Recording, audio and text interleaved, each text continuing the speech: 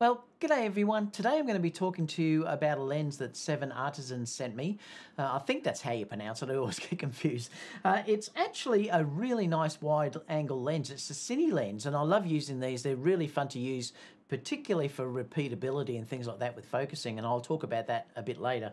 Um, this is a 12 millimeter though T2.9 lens, so it's a very nice fast lens that you can stick on uh, to your APS-C cameras, or in fact use on full frame, and that's what I'm going to show you today. It's going to be on a full frame camera due to the fact that I've uh, using my um, APS-C camera to film me right now. Again, you can use it in APS-C and it just has to be in APS-C mode on your camera. I think it goes up to about 18 mil or something like that uh, on, a, on a full frame. Uh, so what I'll do first is I'll show you the lens itself. So I've taken it out. The only thing really you get in the package is some little uh, adapters here, and I'll show what these are used for later. They're actually used for repeatability if you're rack focusing, but got this amazing built lens. It's, it's quite solid, and I'll tell you about the specs a little bit later but it is a very, very solid lens. Uh, it does have an 82 millimeter filter thread on this side, so if you wanted to use a filter, an ND filter, you would need an 82 millimeter one. I'll just screw that in so you can see how that looks. That's how I did the filming that I did the other day with it. Um, I used this filter on it, so as long as you have something like that or larger, uh, you'd be fine. Build quality is terrific. It's, it's all metal, um, has really nice grips on these focusing and I'll show you how that's uh, an advantage a little bit later when we're looking at it. It does also have, if you're looking here, a declicked aperture. Now the aperture goes from f2.9 to f16 and then you have your focusing ring on this side. Now you do have indicators uh, and it will also give you measurements in meters and also feet too. So if you do want to use measurements to get your focusing, you can do it that way too. I tend to just use focus peaking or I will be using an external monitor, something like that. But the results I've got from this are really quite good. Now before we go any further, let me just show you a little bit about this on the website. So this is the lens here. You can see it's a 12 millimeter uh, T 2.9 and it is an APS-C manual focus cine lens. It's just saying that it's a 2.9 large aperture, it's got ED glass and it has a 270 degree focus throw as well. Let's keep going down I'll show you a little bit more. You can also see on this looking here that you can see there is your focus ring and this is your aperture ring here. Like I said, it is uh, declicked, which is great too. Um, it is a great wide angle lens and that's one thing that is sometimes lacking, particularly cine lenses, or you have to pay an awful lot for them. So the focus itself is really smooth. I, I did enjoy using it. There's a, just a nice little bit of resistance there as well and it's very, very easy to get uh, spot on focus. Uh, the bokeh is nice. Uh, it, it, does, because it's 2.9, you can throw the background out too, which is quite nice, although it is a very, very wide lens, so you would have to get very, very close to the subject to throw something out of focus. But it, it is uh, gives you quite nice results. The close focusing distance on this camera is 0.14 meter. So I'll show that um, in video as I'm talking here so you can sort of see what it's like at its uh, close focus mode. Color wise, I did find it really nice. The colors that you're seeing as we're talking, and uh, I've been putting clips as we're going through this, look really quite nice. So the color rendition is really quite good too. Um, very, very clear markings on the lens itself. Now, a little bit about the uh, parameters or the specs of this lens. It is 12 millimeters and it is an APS-C camera. Like I said, you can use it with full frame if you want to use APS-C mode. Uh, the closest focusing distance is 0.14 meters. The aperture is T2.9 to T16. The weight is 602 grams. So there is a little bit of weight there, but it, like I said, it does feel very, very good quality. The diaphragm blades, there's nine pieces. Uh, the filter size is 82 millimeter.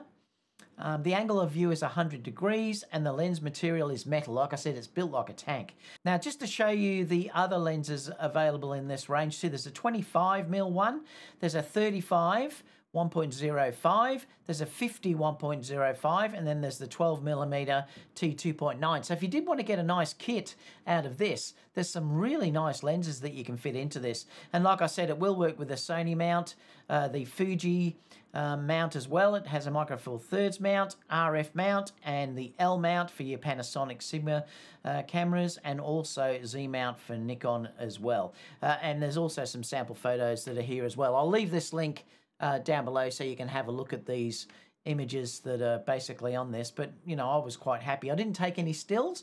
I just did video at this stage just to have a look at what it looked like uh, and it was really quite good. So what I'll do now is I'll show you how you can uh, attach it to a camera. Now I've got the A9 here. So there is a red marking on the side of this. That will line up with the white marking on your camera so if you twist it around, it will go on. So this will give you an idea about the size that this is. Um, it fits nicely actually on the full frame as well. Uh, the, if you put this on APS-C cameras, it is obviously a little bit front heavy, uh, but I did use the gimbal. I used a Moza Air 2 um, when I was shooting the video. Um, but very, very nice. Like I said, it, has got a great focus, um, I love the declicked aperture. That's really, really nice for video. It just feels like a nice quality lens. So that's it on a camera. Now, th this obviously is your lens cap. Uh, as well, so it's nice and protected. There is no lens hood as such, so you know you may have flare issues and things like that, or you could use that actually in the shot.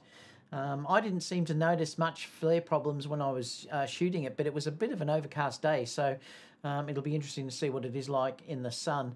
Uh, the chromatic aberrations of this, I did take some uh, a quick video of some branches against the sky, and it seems to be very, very well controlled.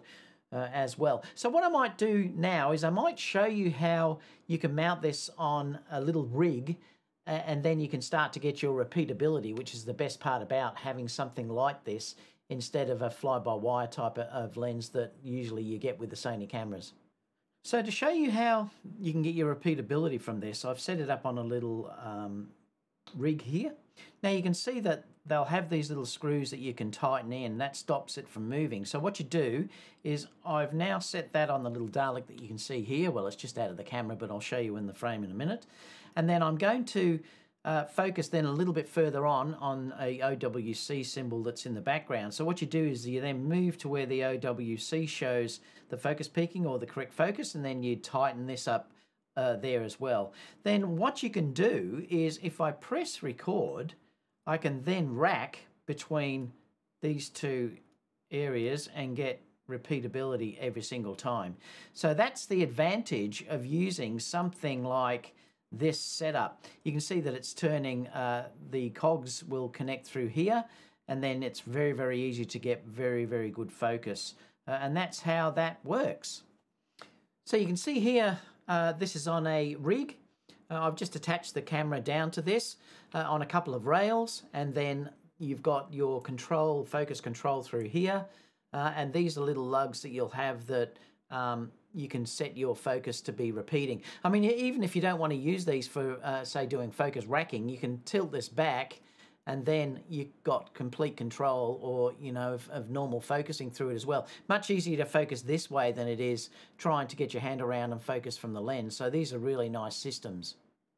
So what do I think about it? Well, for the price, I think it's great. If you're dealing with something that is only just over $300, that's US, I think it's a terrific lens to have in your arsenal, particularly if you want to get into some cine lenses.